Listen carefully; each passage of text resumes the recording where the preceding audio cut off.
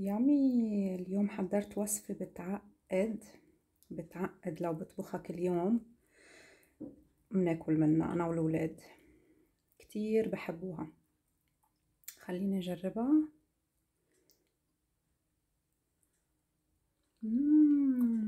روعة روعة عن جد بتعقد. الوصفة حنزلكن إياها. فيديو كامل. احضروه واعطوني رأيكم. بتعقد بتعقد. واو.